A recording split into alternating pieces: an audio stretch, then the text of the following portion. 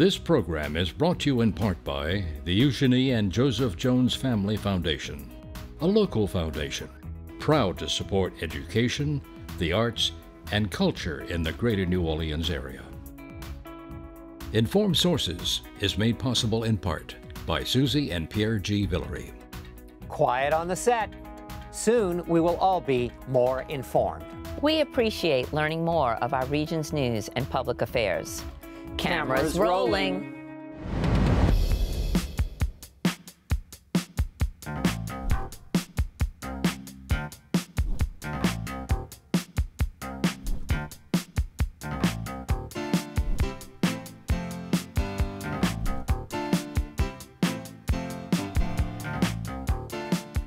Hello, I'm Marcia Kavanaugh. Thanks so much for joining us. The Saints fans have been there before. The final day of the season, the team still has a chance to make the playoffs, but they will need help from another game, and the help never comes. Last Sunday, the season ended with a big win and a major disappointment, but at least the win was over the Atlanta Falcons, and the basketball Pelicans are playing better. In Baton Rouge, Jeff Landry was celebrating a really big win as he was inaugurated governor. For him and the other newly sworn officials, the next season has already begun. And a more celebrated Atlanta presence is Dr. Martin Luther King, whose annual federal holiday is Monday. We'll look at his history, impact, and recognition in New Orleans. Carnival is making its seasonal impact locally. A new study analyzed the city's cost versus the benefits. The verdict is no surprise, but the numbers may be. Joining us are our Informed Sources. Errol Laborde, producer of Informed Sources. Will Sutton, columnist, the Times Picayune, the New Orleans Advocate. Greg LaRose, editor, Louisiana Illuminator.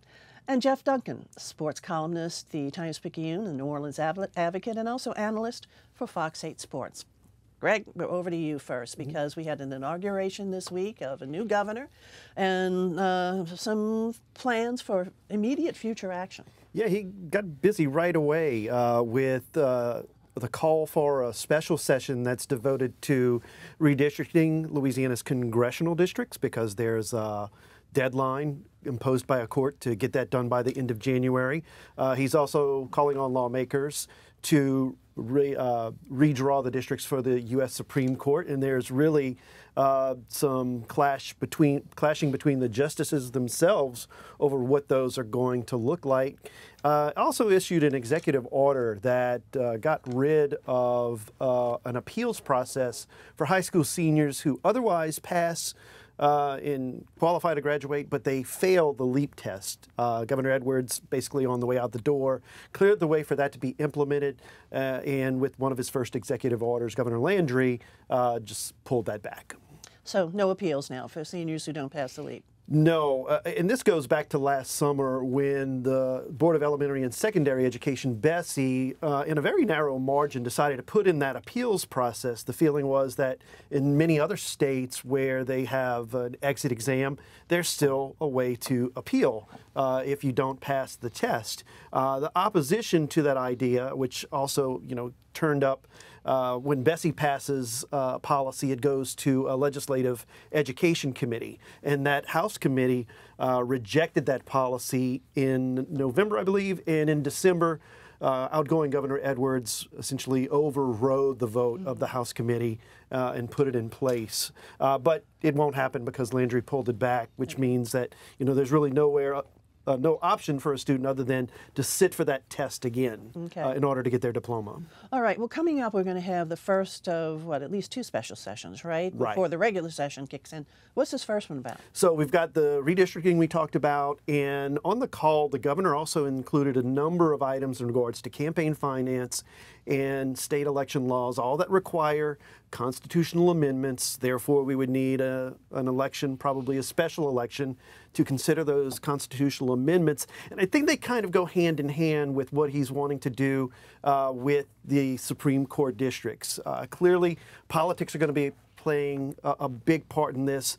All of the justices publicly have said that there should be a second majority black district added to the state Supreme Court districts. Where those lines are drawn, uh, that's the the details that lie with the devil. So there's a lot going on. Clearly, I think uh, conservatives, the governor being among them, want to see that to where it favors adding another conservative justice on the court. Uh, you have also some territorialism in that, uh, for instance, we've heard from uh, Shreveport area lawmakers, Republican and Democratic, that don't like the version of the map that the majority of justices are putting forward. It, it essentially uh, splits Caddo Bossier. Uh, it also splits Houma. Thibodaux area where Chief Justice John Weimer uh, sits and represents. So there's infighting going on right now as to whether or not that first version of the map, uh, created without any public input, mind you, uh, will uh, get any consideration. Just, just to clarify, when we say adding a district, we're not talking about creating a new district. We're, No, we're staying within like- the like we- seven. yeah. Although there was talk about increasing the court uh, seats to nine. I don't know that that's really going to be brought up in the call, but it was uh, a possibility that came up during the 2022 session. It got nowhere, like most of the other uh, proposals, other than the uh, one to keep uh, the congressional districts status quo. Okay. Like with Franklin Roosevelt didn't go anywhere. They tried to expand the, uh, the Supreme Court. So Right. Well, the governor also has come out in favor of closed primaries.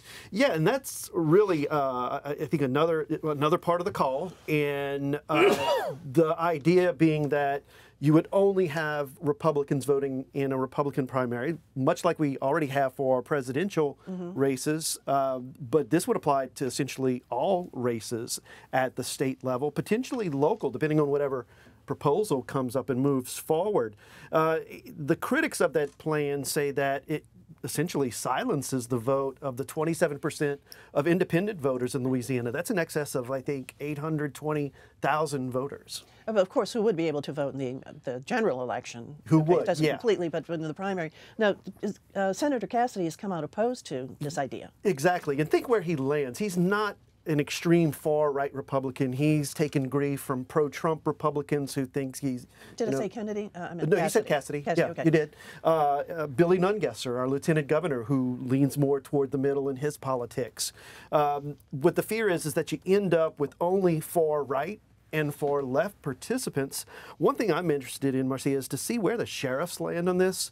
Very powerful lobby in the state. Most are Republican. Many of them, the incumbents, can win outright in a primary election and not face a runoff. If you go to closed primaries, then you're essentially creating a runoff that they otherwise likely wouldn't have uh, had to. You know, it used to be in. a system. There was a, a separate um, primary for each party, a Democratic primary, and then the, and the winners of the two. And what would happen is every year the Democrats would win because Louisiana was so sadly Democrat. Mm-hmm. So when Edwin Edwards ran for governor, he won the Democratic primary, but it was getting harder. There was more competition f- uh, from the Republicans. So finally, after all that campaigning, here's the Republican who hasn't campaigned at all. Saying, "Here I am," and they're getting closer and closer. You know, like Yeah. Dave Treen. And so it was Edwards who wanted to get it changed to, to give more security to the Democrats. And I think we're just seeing a flipped script right now. Okay, so special session begins Monday Mm-hmm. and uh, over these issues, and then there's going to be one on crime too. Should be one in crime in mid-February after Mardi Gras because lawmakers have their Mardi Gras plans in New Orleans and in Washington And in Washington D.C. D.C. Yeah. Okay, all right, Greg. Thanks a lot. Okay, Jeff, over to you. Oh boy, season ended already. Yeah, it's interesting, Marcia. The, uh, the Saints won two more games than they did a year ago, and yet I think fans are way more upset this year than they were a year ago. Year two of Dennis Allen's tenure. Um, this was supposed to be their year. There were great expectations out on Airline Drive. Uh, the, the schedule was one of the easiest in the history of the franchise. They brought in Derek Carr, handpicked by the head coach to be the new quarterback. Um, he hand he handpicked his defensive coaching staff. He turned that over. So there was all these things in place for the team to be very successful and to get back in the playoffs. And they fell short again. They, they, they one game short, kind of squandered some games early in the year. Derek Carr did not play up to expectations early in the season. And by the time they got their act together at the end, they won four of their last five. Uh, they needed too much help to get in the playoffs. And so it's very disappointing. I, I expect we're going to see a lot of changes here in the next week or so on the coaching staff and also I think some big names on this roster, some of the biggest stars on the team, I think might be playing for someone else next year. You know, I, I keep hearing the word culture culture of the team, culture in the locker room. What exactly does that mean? Yeah, it's a good question, and I think it's kind of a code word for uh, just the the mindset, the environment, the atmosphere, the work culture, um, the study habits, some of the, a lot of the intangibles that this organization had prided itself on for a long time in the Sean Payton, Drew Brees era. I think they've lost a little of that, and, and we heard Dennis Allen talk about it at his post-game press conference, saying they need to get back to that winning attitude, that winning mindset. And Mickey Loomis did something unprecedented. The general manager, uh, he came in after the end of season meeting that Dennis Allen had, and everyone left the building, uh, left the room except the players and Mickey Loomis, and he spoke to the team about culture and what he was. His message was setting a tone for the offseason. They need to study harder.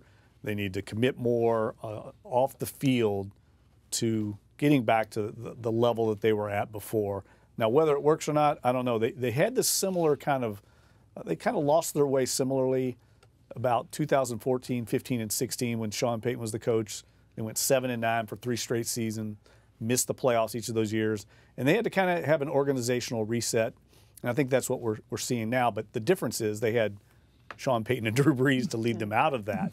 Uh, whether Derek Carr and Dennis Allen can do that, I think remains to be seen. So, you, People interpreted that as a, uh, uh, a foreshadowing of a uh, coaching change, but I don't think that's the case. I mean, No. it seems like it was Mickey Loomis saying, maybe you don't understand. Yeah.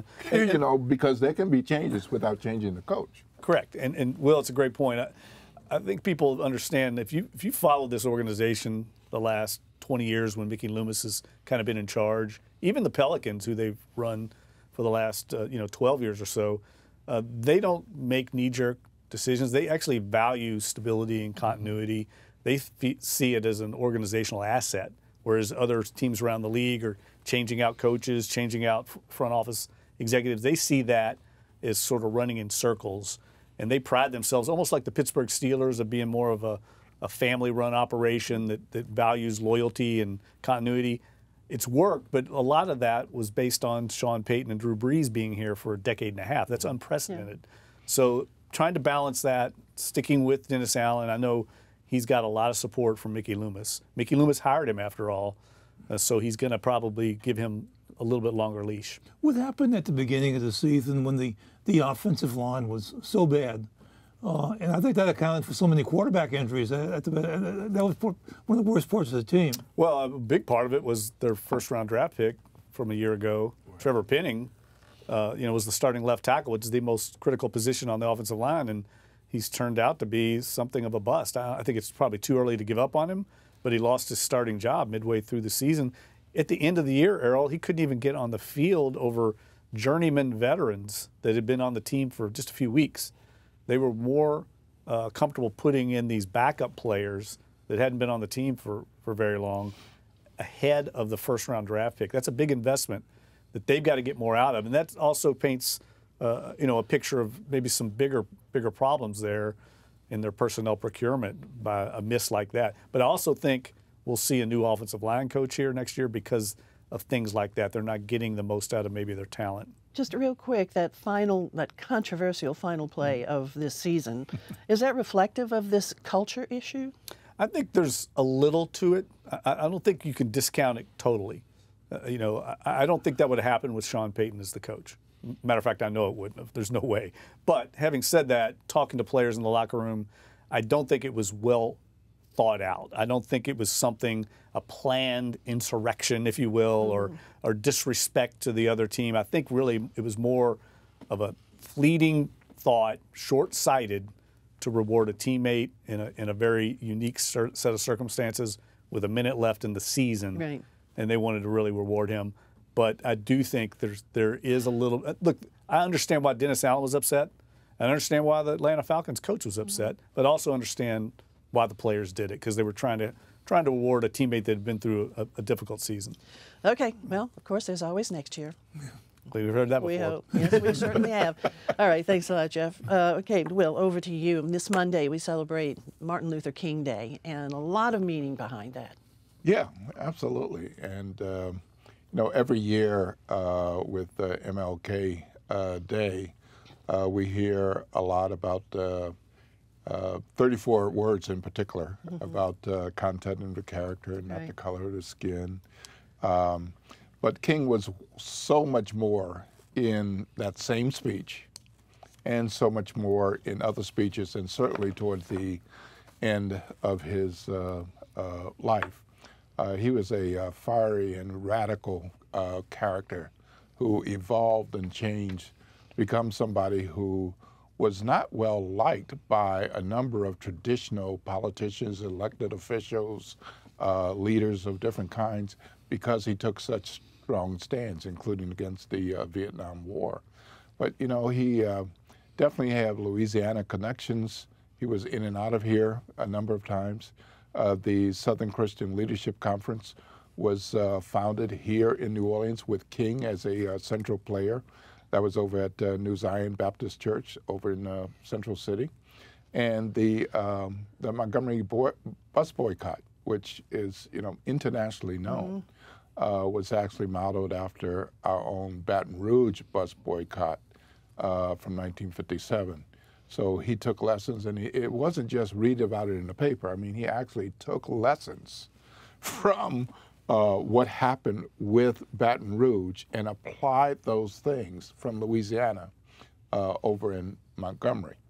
And of course, there's a you know personal connection uh, with uh, Sybil Morial Right. for uh, the uh, wife of the former mayor, but a uh, an educator, a leader, activist in her own right, uh, who was in school with Martin Luther King, and uh, she speaks very fondly of those days and those times. And you know the uh, the thing about Martin Luther King Day for me is I think it should be a time where we reflect not just on the 34 words, but on King's life, and kind of where we are and where we could be. One of the things I remember from one of his speeches is uh, when he said, It's different to integrate a, a counter, but seeking equality is a whole different level. Yeah. And I think that's where we are. I mean, he was saying it was difficult at that time. This is before the man died. He's been gone a long time.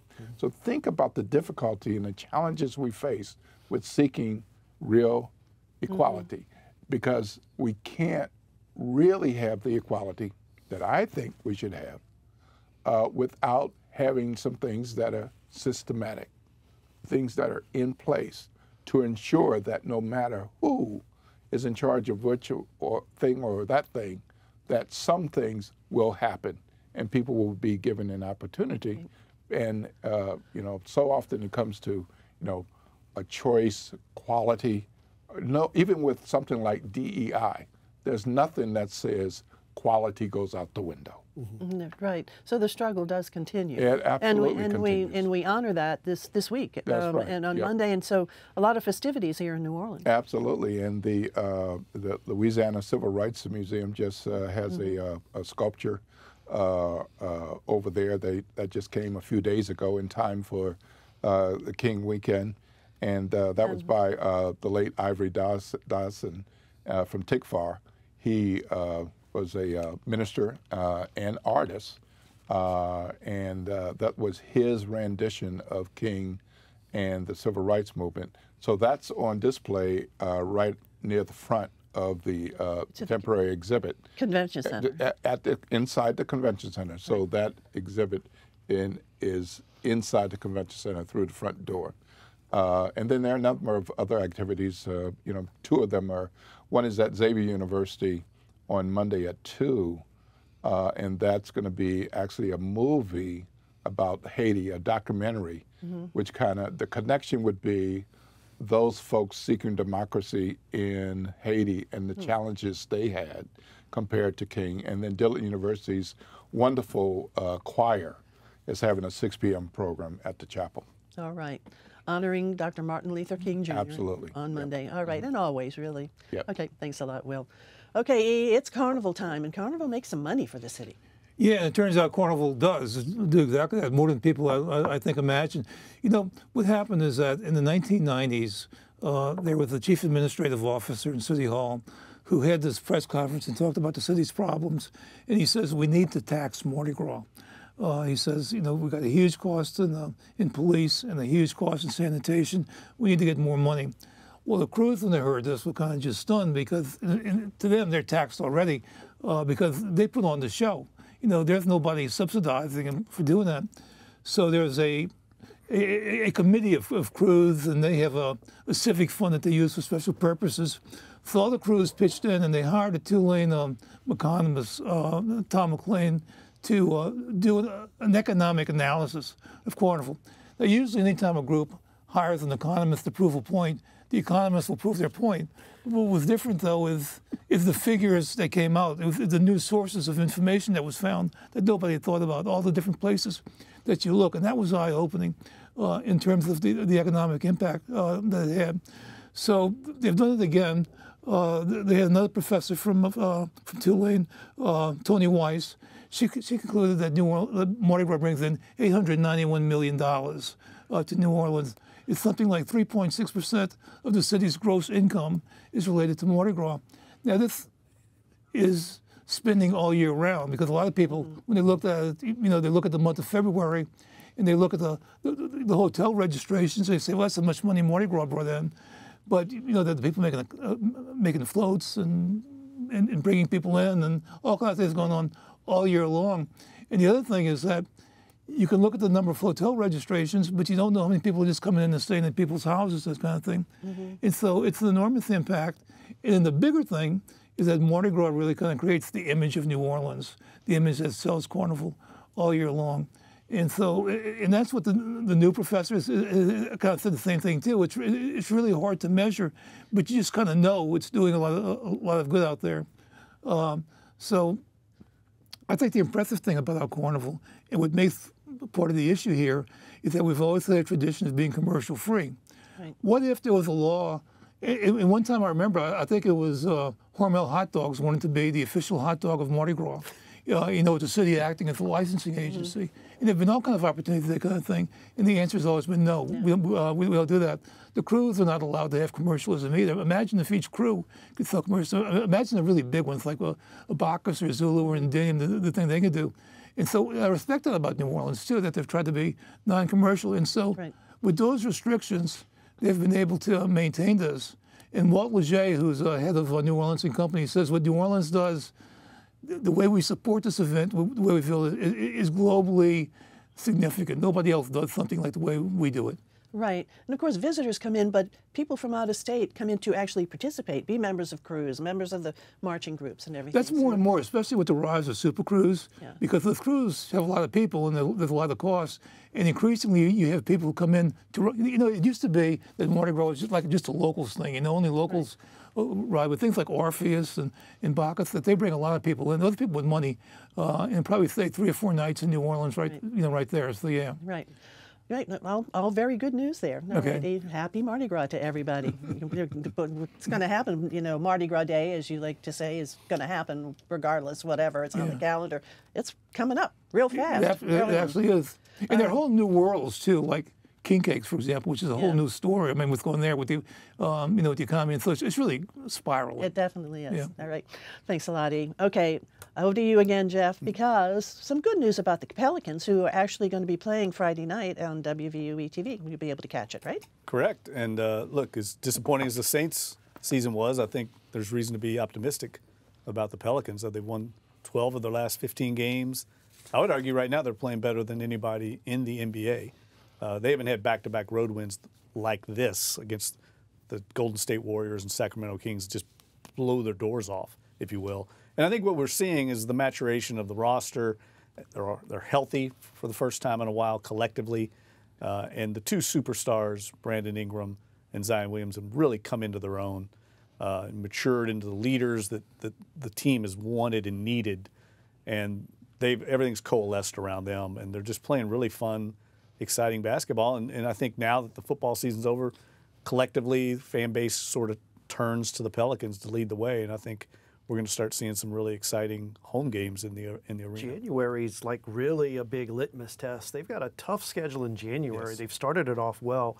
What do you think's been like the difference? Everyone focuses on Zion turning things around from the in-season tournament. What do you see as like it's been really key to uh, this tear that they're on now. Well, I think getting Trey Murphy back, he, he, he was one of the injured players. to start. He's a rising superstar. I mean, he's going to be a part of a long-term contract coming up. He's going to make a lot of money, but he's a young, uh, budding sensation, and he gives them an outside shooting force now to go with some of the other uh, players on the roster. C.J. McCollum's had a great season so far. He was really injured a year ago and played through it. Really tough veteran leader on the team, and he's been healthy.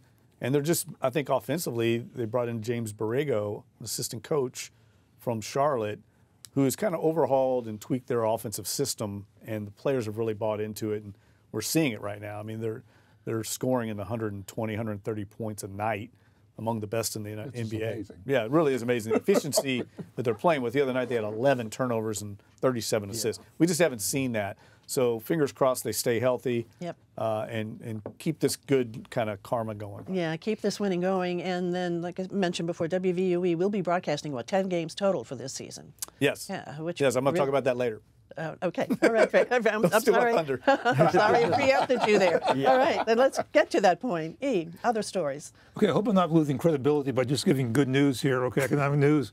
But the uh, the downtown development district has come out with figures about the weekend of the Sugar Bowl. With the big Sugar Bowl, a lot of people in town. They estimate there were 334,000 people who were downtown uh, during that week. The day of the game, there were 110,000 people. That, that's more than the Superdome holds, but a lot of people who were out there and who were just hanging around and who were going and going to different shops. I was among those people. I guarantee you, there was a lot of people um, that were out there.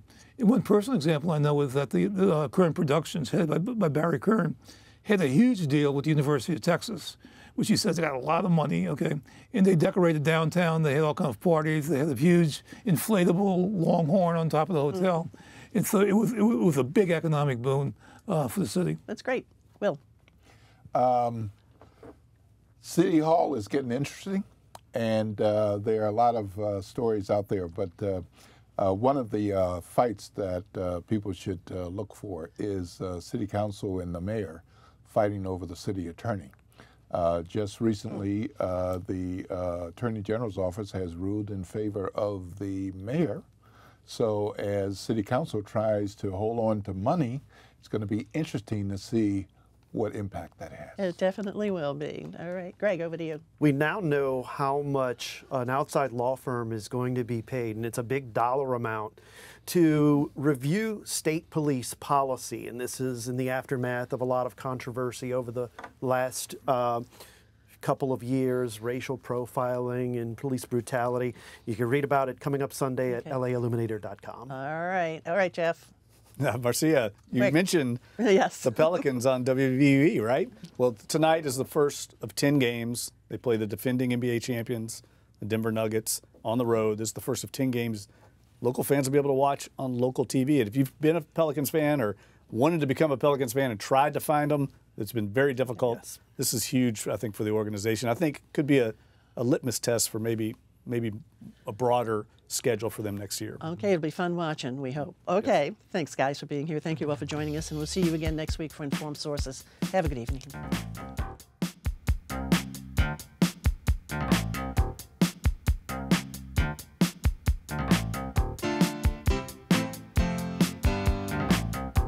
Informed Sources is made possible in part by Susie and Pierre G. Villere. Public television is our passion.